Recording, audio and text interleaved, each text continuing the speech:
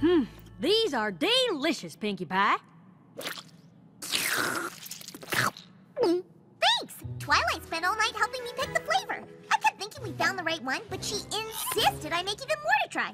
And more. And more and more and more and more. It was like she never wanted to leave. Exactly! We ran out of time, so we just went with every berry, any chip surprise. The surprise is I lost a measuring spoon in the batter. Somepony's gonna get a very special pancake. Up all night, huh? Is that why she's so, uh, out of it? Hmm. Um, I don't mean to sound unappreciative, but has anypony else noticed that Twilight's been a little too helpful lately? Now that you mention it, she was lending a hoof at Sweet Apple Acres the other day and stuck around till near midnight. Dug up 50 tree planting holes when all I needed was 10. She spent an entire afternoon rearranging a single gem drawer at the boutique. An entire afternoon! You think that's weird? She raced me like a hundred times the other day and lost every time. She just kept going. Best out of 10, best out of 20, best out of a 100. I mean, I know hanging out with me is awesome, but it was like she'd rather keep losing than Leave? Yeah. Who does that? Somepony who's avoiding something, that's who. Soon as she wakes up, we're gonna find out what. I win! I'm Pancake. I mean, awake. Uh, Twilight, is there something you want to tell us? You know how much we appreciate all you do for us. And we simply adore having you around. But we worry you might be avoiding something else.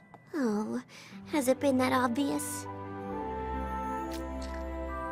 I've been. The thing is, I know it's silly, but I. I've been avoiding this place.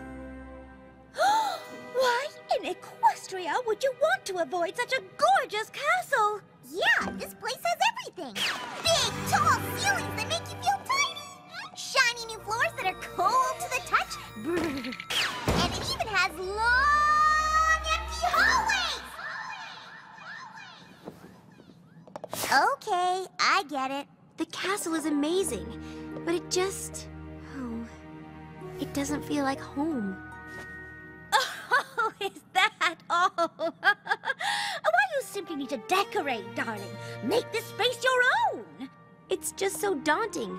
Look how big it is. I I don't even know where to start. You can start by letting us do it for you. We will make this the castle of your dreams while you go to the Ponyville Spa for some much needed rest and relaxation. I'm saying this with love, but have you looked in the mirror lately? I've never seen you look this. Frazzled. Yes, that is absolutely the word I was going to use. Oh, I guess I do need a little help. And so does my castle. And I just know you'll do a great job because nopony knows me better than you. We'll make this place feel cozier than hot cider on a rainy day. There's gonna be cider!